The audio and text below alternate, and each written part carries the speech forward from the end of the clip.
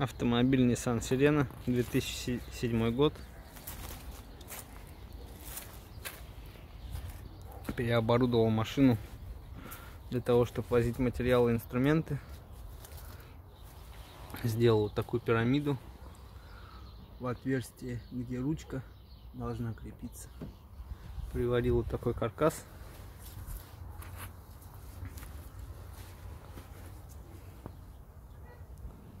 Вот здесь можно возить окна, двери, ставить их вертикально. Также здесь есть люк, который поднимается. А там находятся крепежки для боковых сидений. Здесь были стандартные ремни. Они плохо держались и при движении брякали. Сделал такие ремни чтобы сидушки не брякали при езде. Теперь держится жестко, что с этой, что с этой стороны. Здесь у меня пол сделан из ДСПшки. Пришлось его поднять, так как крепление от среднего ряда сидений выпирает сантиметров на 5 от пола. Поэтому здесь прокладывал бруски и на бруски уже постелил ДСПшку.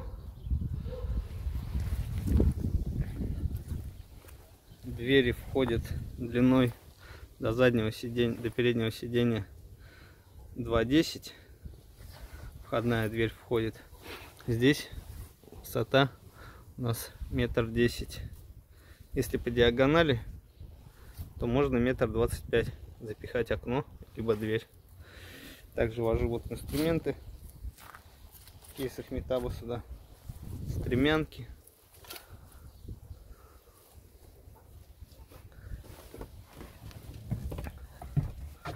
Установил здесь магнитолу китайскую на андроиде. Старую убрал. Кармашек под очки. Здесь кармашек. Посередине полочку сделал. От марк 2 снял. Э, у сирены 2005 года. Здесь такая идет центральная консоль. Я ее снял. Она катается по полозьям. Вместо нее на это крепление снизу прикрутил от Марка 2 бардачок такой.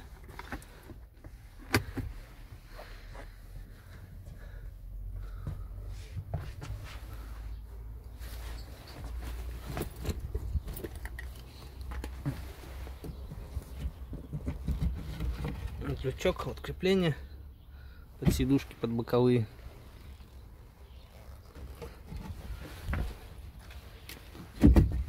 Здесь у меня еще находится газовый баллон. И также дополнительный бардачок. Вон газовый баллон на 80 литров. Что очень экономит топливо. На одной заправке 60 литров входит в баллон. Я могу проехать 400 километров. Это около 1000 рублей. На бензине бы я потратил около двух с половиной тысяч. Это в конце 2019 года. Когда бензин стоит 42 рубля, а газ 16 рублей в Новосибирске.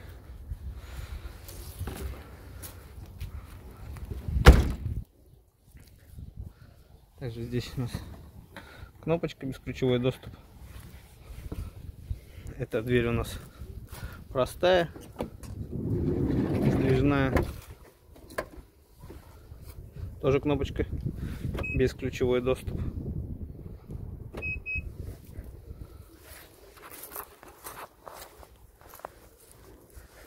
А эта дверь у нас электрическая.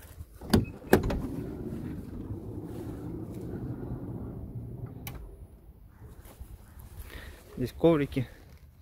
Купил в Новой Заре резиновые. 2000 стоят прикрутил их на саморезы, чтобы инструменты не катались по салону.